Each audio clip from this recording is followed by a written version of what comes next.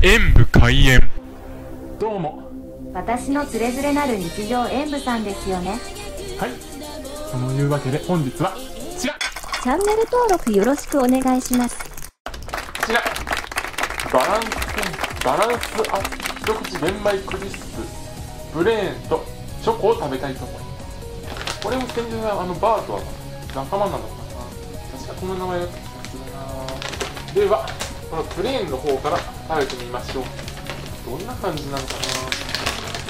はいこんな感じになってますでなんか裏側には牛乳やヨーグルトが入っててシリアルみたいにして食べても美味しいと書いてありますが今日はこのままいってみます。ではこちらの一つ一つはこんな感じですね。小さくして食べやすくしてくれることなんでしょう。ではいただきます。あれ？プレーンっていう割にはこれってうーん。違う意味で思ってたのと違うな。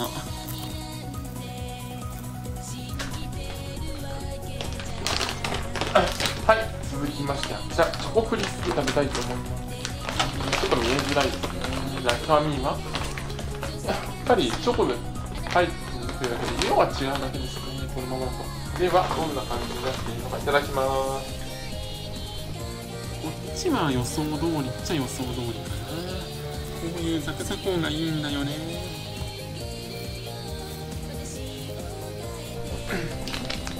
どちらもカリカリサクサクとしていて口の中での食感の音がとっても良かったです。なので本当にこんな風に一つずつ食べていくのもいいんですしシリアルとして食べても美味しいと思いますね。でその上でこちらのプレーンはプレーンと書いてありますが味が全くないそっけないわけではなくだからオレンジの酸味味香ってきましたね。あとホワイトチョコ入ってねちょっと甘みもあって美味しかったです。甘みと酸味のバランスが程よくてサクサクとした食感もともよく合っていましたね。というわけでこちらの点数とさせていただきます。そしてこちらのチョコレート。